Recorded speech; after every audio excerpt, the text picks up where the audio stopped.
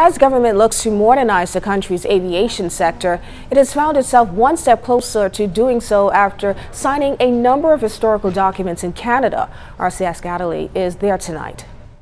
It was a busy day for the Bahamian delegation here in Montreal, having signed two historical agreements and attending several high-level meetings during Monday's session at the 39th Assembly of the International Civil Aviation Organization. The Bahamas signed its first air service agreement with Turkey. Signing on behalf of the Minister of Transport and Aviation, the Honorable Glenys Hanna Martin, was the High Commissioner to Canada, His Excellency Dr. Kelsey Johnson. ICAO's Technical Safety Coordinator Julia Brathwaite Rolle and Deputy Undersecretary in the Ministry of Transport, Maritime Affairs and Communication, Orhan Berdal, explains the significance of this signing.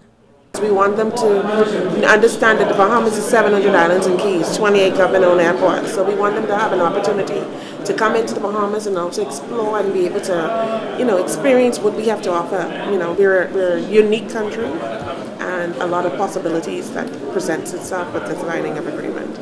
Uh, Turkish carriers and Bahamas carriers may have a chance to fly the other countries' destinations.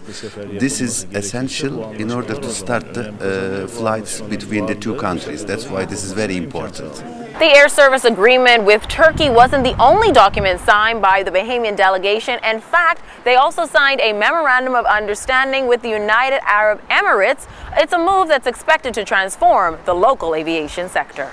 The agreement basically says that what we've negotiated in Turkey and what we've negotiated over the past year is going to be signed. The only difference is we've signed an MOU of understanding that it's going to take place and the ASA will be signed officially in December. Uh, we have actually um, managed almost 114 million passengers through our airports, which in a way tells you also about the importance of tourism and connecting uh, points to points between uh, the UAE and other destinations uh, in the world.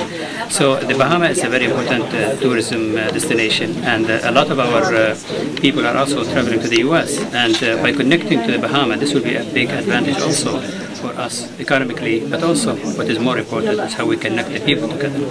And while these two documents may be signed, sealed, and delivered, the Bahamian delegation still have lots on their plate as they prepare to host the ICAN conference back in Nassau later this year. At the 39th Assembly of the ICAO in Montreal, Canada, C.S. Scatterly, ZNS Network News.